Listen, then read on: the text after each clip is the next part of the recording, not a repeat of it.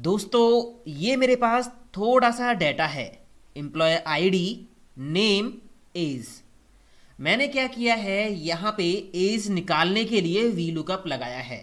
यहाँ एज के नीचे वाले सेल में मैंने लगा रखा है वी लुकअप जो क्या करेगा, इस सेल से लुकअप वैल्यू लेगा, उसको चेक करेगा डेटा में, और उसकी एज फिर आपको वो निकाल के यहाँ पे ला के देगा। ठीक है? मैंने यहाँ पे आईडी डाली हुई है पी ज़ीरो ज़ीरो वन तो यहाँ पे पी ज़ीरो ज़ीरो वन की जो एज है थर्टी फोर वो यहाँ पे वी लुकअप दिखा रहा है। मैंने आईडी चेंज की पी ज़ीरो ज़ीरो टू तो यहाँ पे वी लुकअप बोल रहा है नॉट फाउंड यहाँ पे तो डाटा में तो आईडी है पी ज़ीरो ज़ीरो टू और इसकी एज भी है, सब कुछ है तो यहाँ पे ये नॉट फाउंड क्यों बोल रहा है? फिर से मैंने आईडी चेंज की फोर तो फोर का रिज़ल्ट इसने दिखा दिया। मैंने आईडी चेंज की फाइव तो फिर से नॉट फाउंड तो वी लुकअप इस लुकअप वैल्यू को इन वैल्यूज़ में मैच क्यों नहीं कर पा रहा? इसका क्या कारण है दोस्तों? ओके इसी समस्या का एक दूसरा पहलू आप देखिए। यहाँ सीट वन पे मेरे पास ये कुछ फ्रूट्स के नेम मैंने टाइप कर रखे हैं। ठीक है? यहाँ पे एप्पल दो बार है। ठीक है? मैं क्या करता हूँ, इनको सिलेक्ट करता हूँ और इनमें से डुप्लीकेट्स को रिमूव करता हूँ। डेटा पे मैं गया और रिमूव डुप्लीकेट पे क्लिक किया और यहाँ ओके पे क्लिक कर दिया। तो ये एक्सेल बोल रहे कि नो डुप्लीकेट वैल्यू फाउंड जबकि यहाँ पे एप्पल दो बार है। तो ये क्या कारण है कि डुप्लीकेट डिलीट नहीं हो रही है और यहाँ पे वी लुकअप के अंदर लुकअप वैल्यू डेटा में मैच नहीं हो पा रही है? इसका कारण है दोस्तों स्पेस स्पेस इसका कारण है। अभी मैंने यहाँ पे जो आईडी दी है पी ज़ीरो ज़ीरो फाइव आप डेटा के अंदर जाओ, ये रहा पी ज़ीरो ज़ीरो फाइव इस पर डबल क्लिक करो और देखो। यहाँ पे लास्ट में एक स्पेस है। यहाँ पे लास्ट में स्पेस दिया हुआ ये देखिए। है ना? उसी तरह से आप यहाँ जाओगे पी ज़ीरो ज़ीरो टू इस पर डबल क्लिक करो लास्ट में स्पेस है। और अगर टेक्स्ट वैल्यूज़ में स्पेस हो तो वो स्पेस उन टेक्स्ट वैल्यूज़ को यूनिक कर देता है दोस्तों। यही कारण था जिस वजह से यहाँ पे वी लुकअप इस वैल्यू को यहाँ इस डेटा में मैच नहीं कर पाया स्पेस ठीक है? और ये स्पेस का ही कारण यहाँ पे था कि आपके डाटा में जो डुप्लीकेट थी वो डिलीट नहीं हो पाई। एप्पल पे क्लिक करोगे, यहाँ पे कोई स्पेस नहीं है एप्पल से पहले ए से पहले और ई के बाद। बट यहाँ एप्पल पे डबल क्लिक करो तो यहाँ पे ई e के बाद एक स्पेस है, जिस स्पेस ने इन दोनों को यूनिक कर दिया। ठीक है दोस्तों? ये है तो समस्या बहुत छोटी बट समटाइम्स हमें बहुत ज़्यादा इरिटेट कर देती है कि दिक्कत क्या है, क्यों डिलीट नहीं हो रही? है क्यों वी लुकअप काम नहीं कर पा कर पा रहा है? ठीक है? तो इसका समाधान क्या है दोस्तों? अब देखो, एक वैल्यू होगी तो उसमें से स्पेस हटा दोगे।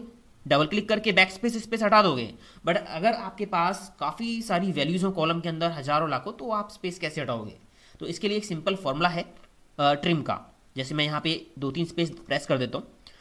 आप एक फॉर्मूला यूज़ कीजिए trim equal trim bracket open इसमें टेक्स्ट वैल्यू आपको देनी है। ये दे दिया मैंने। ब्रैकेट क्लोज और एंटर प्रेस किया। तो यहाँ आपका ये रिज़ल्ट आ गया। ठीक है? अभी आप यहाँ डबल क्लिक नहीं कर पाओगे क्योंकि यहाँ पे लगा है फॉर्मूला आप एक काम कीजिए इन वैल्यूज़ को जहाँ पे फॉर्मूला लगाया है कॉपी कर लीजिए कंट्रोल सी कीबोर्ड से मैंने प्रेस किया और इनके ऊपर राइट क्लिक करो पेस्ट स्पेशल और यहाँ वैल्यूज़ पे आ, टिक लगाओ सेलेक्ट करो और ओके कर दो. तो ये जो फॉर्मुलेज थे ये वैल्यूज़ की तरह पेस्ट हो गई हैं.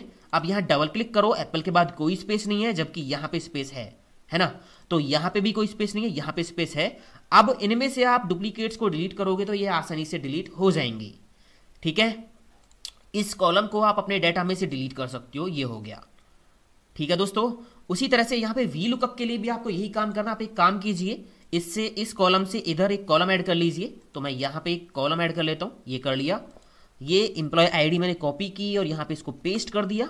अब यहाँ पे मैं लगाता हूँ इक्वल ट्रेम ब्रैकेट ओपन और ये मैंने आईडी ले ली सेलेक्ट कर ली, ब्रैकेट क्लोज एंटर किया और यहाँ पे डबल क्लिक कर देंगे तो ये नीचे तक सारा कॉपी हो गया फॉर्मूला अब यहाँ पे लगा है फॉर्मूला ये देखिए तो हम एक काम करेंगे, यहाँ पहली आईडी पे क्लिक कर देंगे कीबोर्ड से प्रेस करेंगे कंट्रोल शिफ्ट डाउन एरो तो ये कॉलम नीचे तक सारा सिलेक्ट हो जाएगा, चाहे इसमें हज़ारों लाखों रिकॉर्ड होंगे।